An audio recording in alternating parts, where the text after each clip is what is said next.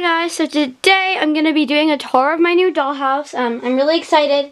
I just built it. It was like, um, it was out of like this old cabinet we had and we found like shelves you could put in so you could make like um, different rooms. So yeah, I'm, I'm really happy with how it turned out. And disclaimer, um, I did not, um, my parents did not buy any of this stuff. I bought it all with my own money except for the stuff to like build it they did.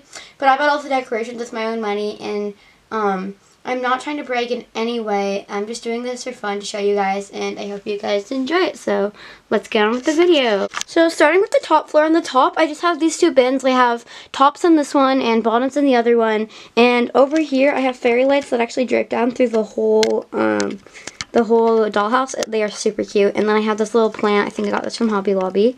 So yeah, this is the little top floor. It's not really a room, but it's just kind of a storage area. So this is my personal favorite floor, and this is the one I showed at the beginning. This is like the bedroom area. I have fairy lights strained all over the whole house. It's really cool. But yeah, so this bed is actually just an American Girl box that I made into a bed. So I got a throw blanket from Five Below and I cut it up and I made this pillow and I made the bed. And then the other pillow I had like an extra fabric from something I did. So I just used that to make another pillow. Here's Emma. She's wearing a really cute top from um, Closet for Chloe. Um, shout out to them. They have super cute clothes. You should really check out their Etsy shop. The skirt I actually made, and it may be releasing on my Etsy shop when I release my Etsy shop. So, like, it's a cute skirt, guys. Like, look at that you guys should go check it out when it releases. Um, so here's these posters here. These are from Five Below. This little dresser thing is also from Five Below. And this little succulent. This uh, dresser is from Goodwill. It was wood, but then I painted it white. And here's a mirror and these shelves that I made with mini kit and another um, succulent from Five Below.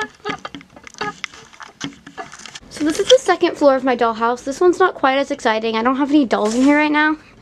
But, so over here, this is Julie's chair from her vanity set. I don't think it's available anymore. It doesn't really go with the room, but it's cute. I really want to eventually get Gabriela's chair from her loft bed because I think that would go really well here. Um, so yeah, this cabinet is from Goodwill, kind of like the one upstairs, and I painted it white because it was wooden. And then the succulent is also from the three pack from Goodwill. These roller skates are from our generation, and this is a little Squishmallow that I had. It's a mini one, but it kind of is like a big one for my doll, so I thought, I thought it was really cute. This poster is from Goodwill, and then this photo wall I made out of this like book. I had a bunch of scrap fabrics in it. So yeah, I think the photo wall looks really cute. So this is the second floor, not quite as much stuff, but I want to eventually decorate it more. But yeah, this is the second floor. Okay, so this is like the last area. This is just like the top, but it's even more boring because there's no plant. But yeah, it's just bins of accessories and clothing. So yeah.